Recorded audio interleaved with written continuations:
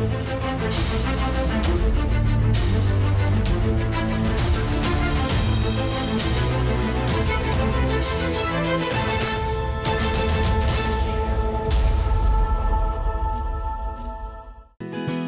thuốc đến nhà thuốc IDC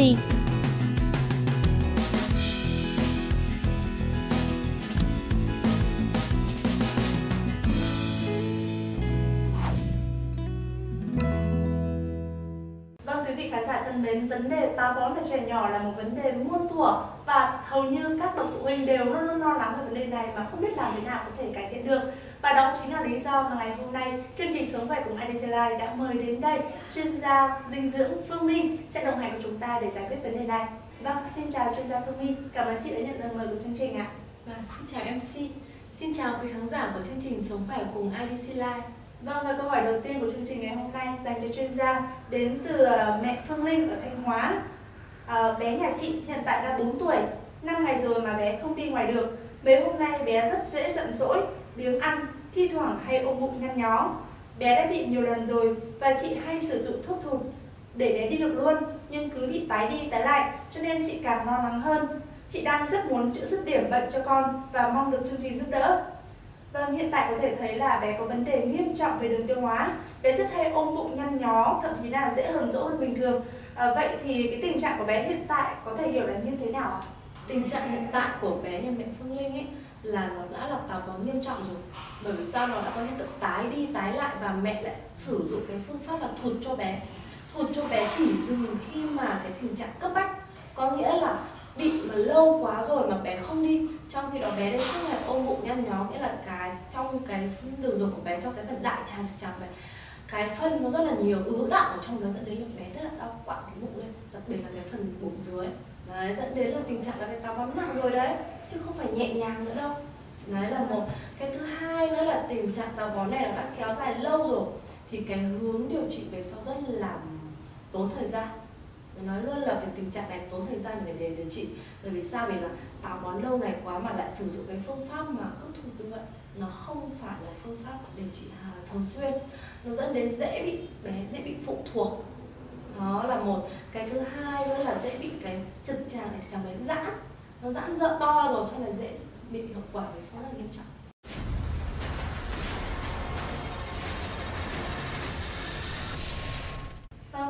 Đấy là cái tình trạng táo bón của bé mà mẹ để đến 5 ngày mà bé không đi tiêu được cũng là quá lâu rồi đúng không ạ? Vâng, vậy thì chuyên gia có thể đưa ra một cái lời cảnh tỉnh cho tất cả các bà mẹ đang chăm con bị táo bón có thể hiểu rõ hơn về cái hậu quả cũng như là cái mức độ nguy hiểm nếu để tình trạng táo bón ở trẻ kéo dài không ạ? từ cái nguyên nhân để cái vấn đề hiện tại bây giờ cái hậu quả nhìn thấy rõ nhất đó là bé rất là khó chịu với cái vùng bụng ừ. nào thì là đi vệ sinh rất là khó đau bụng âm ỉ này có rất là thật thích là muốn đi vệ sinh mà không thể đi nổi đấy là cái cái hậu quả nhìn thấy trước mắt. Thậm chí có những bạn đi vệ sinh còn chảy máu. Đấy chảy máu hậu môn có nứt kẽ hậu môn. Đấy, đấy là gọi là vấn đề chảy máu của con. Còn ngoài ra cái hậu quả nhìn thấy trước mắt đó thì mình thấy cái, cái hậu quả về sau. Cái hậu quả về sau mình nhìn nhận rõ nhất đó là liên quan đến dễ bị trĩ về sau. Bởi vì sao? Khi mà cái tại cái trực tràng ấy nó giãn rộng ra thì dễ bị xa cái tĩnh mạch ờ, ở, ở, dưới phần trực tràng dễ bị trĩ. Đấy là cái phần trĩ về sau. Cái trường hợp lâu hơn nữa nặng nề hơn nữa mà gần như là không ai muốn nghĩ tới cả đó chính là bị viêm đại trực tràng và dễ bị ung thư đại trực tràng về sau. Bởi sao? Phân tích tụ lâu ngày ở trong đường ruột nó là những cái chất cặn bã mình thải để thải ra ngoài. Thì cứ tích tụ lâu ngày này nó dễ bị nhiễm ngược lên nó dễ bị dễ bị nhiễm khuẩn ngược lên. Đó đấy là đối với bé bé bé, bé trai có thể dễ dàng hơn. Nhưng đối với bé gái nó có thể lây nhiễm sang cả phần phụ của bé nữa.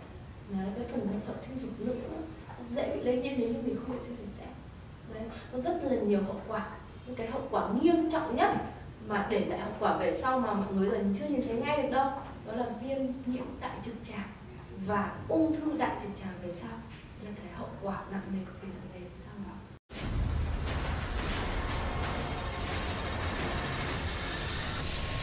Vâng, vậy thì đối với tình trạng táo bón hiện tại của bé nhà chị Phương Linh thì ta có thể áp dụng những phương pháp điều trị như thế nào và lộ trình cụ thể như thế nào để bệnh có thể là uh, chữa trị dứt điểm nhất ạ? như mình đã nói ở trên về cái vấn đề táo bón của bé nhà mẹ Phương Linh đó là thứ nhất là bé bị táo bón lâu rồi không phải là bây giờ bé mới bị mà bé bị từ rất lâu. Và cái tình trạng hiện tại của bé bây giờ là rất là khó chịu rồi. Vậy nên là cái lộ trình điều trị nó sẽ kéo dài hơn so với các bạn bình thường khác. Nghĩa là mới bao giờ cũng dễ hơn là biết để lâu mình mới xử mình mới làm. Đặc biệt mẹ rất hay sử dụng phương pháp thụt cho con. Như thế thì là nó ảnh hưởng liên quan đến cái hệ tiêu hóa của con một phần. Nó làm cái phần cơ tròn hậu môn nó bị kém hiệu quả đi. Bởi sao? Khi mà để tống phân ra ngoài thì cái cơ tròn hậu môn nó tác dụng rất là nhiều để nó tống phân ra ngoài. Thì mẹ dùng phụt để thụt như thế, thì cơ tròn hậu môn nó kém linh hoạt đi. Đó là nguyên nhân.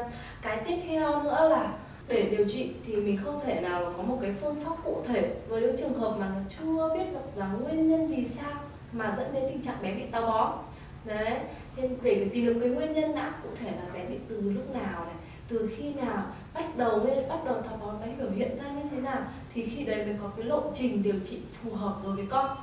Đấy. còn trước khi, nhưng mà để mà điều trị tốt thì tốt nhất mẹ Phương Linh nên, liên hệ lại với chương trình để mà mà hiểu rõ hơn về tình trạng táo bón của con và có phương pháp phù hợp. Ngoài ra, ở nhà trước mắt thì mẹ sẽ sử dụng bằng phương pháp dinh dưỡng và tập luyện để mà cải thiện một phần liên quan đến táo bón của con đã bằng cách như thế sau. Thứ nhất, đó là bổ sung thêm nước cho con. Như là ở trong cái tình trạng là bé đùa nghịch nhiều 4 tuổi là gia đình rất là nhiều, thì là mất nước nhiều, thì bé có thể bổ sung thêm nước cho con bằng cách khoảng, mỗi ngày bé phải khoảng từ một lít rưỡi, khoảng lít rưỡi nước đấy, không ít đâu. Đấy là một. Cái thứ hai nữa là liên quan đến cái vấn đề là chất xơ. Chất xơ thì tăng cường lên rau củ quả. Nguyên rau xanh không thì nó chỉ là chất xơ không hòa tan thôi. Còn muốn bổ sung cả chất xơ hòa tan nữa nó liên quan đến củ quả nhiều hơn. Tăng cường cho bé ăn thêm khoai lang luộc này, hoặc là có thể là thêm bơ cho bé này. Đấy là những cái phương pháp mà mà ở nhà. Ngoài ra liên quan đến lợi khuẩn đường ruột thì có thể tăng cường cho bé ăn thêm sữa chua, hoặc là sữa chua uống để tăng cường cái lợi khuẩn đường ruột lên. Nhưng lưu ý, đối với sữa chua phải là sữa chua hạn sử dụng còn mới. Bởi vì sao khi đấy lợi khuẩn đường ruột nó vẫn còn rất là nhiều chưa bị chết đi. Còn nếu mà cận cái đết quá rồi thì là vi khuẩn đường ruột nó sẽ chết đi rất là nhiều. rồi không có tác dụng nhiều nữa đấy là những cái phương pháp ở nhà hiện tại giờ mẹ làm trước cho con và liên hệ lại với chương trình để mà có phương pháp phù hợp nhất Dạ điều vâng. trị cho con Dạ vâng, xin cảm ơn chuyên gia Phương Huy với những cái chia sẻ rất là thú vị và hữu ích cho khán giả của chương trình vừa rồi ạ. Và như vậy qua những chia sẻ của chuyên gia dinh dưỡng Phương Huy vừa rồi thì có thể thấy là nếu để tình trạng táo bón ở trẻ kéo dài quá lâu thì có thể gây ra những cái hậu quả vô cùng nguy hiểm mà chúng ta không thể lường trước được. Chính vì thế các bậc phụ huynh hãy trang bị cho mình những kiến thức về căn bệnh táo bón để có thể đề phòng bệnh cho bé tránh những cái hậu quả đáng tiếc này. Và với quý vị khán giả nếu muốn được tư vấn kỹ hơn về từng trường hợp bệnh cụ thể, quý vị hãy liên lạc với chúng tôi qua số hotline 0826 212 102 hoặc gửi thư về chương trình qua địa chỉ email tư vấn bác sĩ 115 com Vâng và nếu quý vị không muốn bỏ lỡ bất kỳ một thông tin sức khỏe hữu ích nào thì hãy nhớ theo dõi chúng tôi vào khung giờ 20 giờ hàng ngày trên kênh IDC Live và nhớ nhấn đăng ký kênh cũng như là nhận thông báo. Còn bây giờ, xin chào và hẹn gặp lại.